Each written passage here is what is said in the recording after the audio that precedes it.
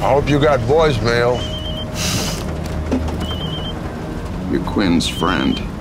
That would be me. FYI, Stan Liddy is my name. What are you doing? I just need you to relax. I'm taking this little place, have a little private chat, that's all.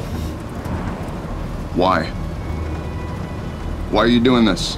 Because our mutual friend Joey Quinn hired me to look into you, and I guess you know I found out some things. I just need you to lie there and relax. I don't want to zap you again, but I will if I have to.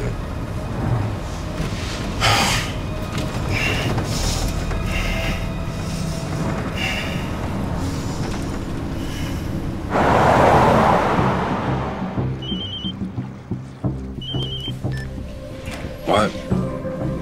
Come on now, Joey. Is that any way to talk to your new best friend?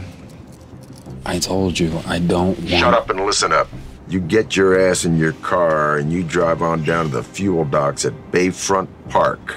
That big bust I want you to make, I need you to come down here and make it now. I don't know what you think you're doing, but you gotta stop it with this shit. Oh, horse shit. Nobody's stopping nothing. You're the one who hired me. And then I fired you. Listen, boy, this is going down with or without you. Now, you don't get down here faster than a fucking jackrabbit. I'm calling in another cop, and then there's no telling how this is gonna spin out. Jesus, Liddy, just. Jesus ain't got nothing to do with it. Old fuel docks, Bayfront Park, now.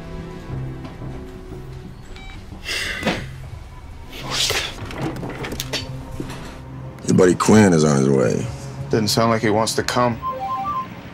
Well, you're a real popular fella. Sonia.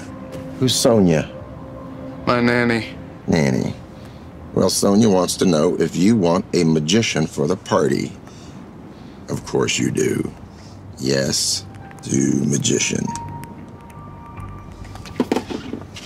Well, now, there's something I want to show you.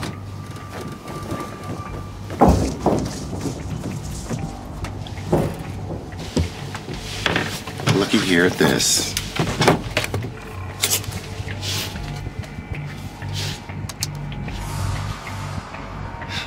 Ain't that neat?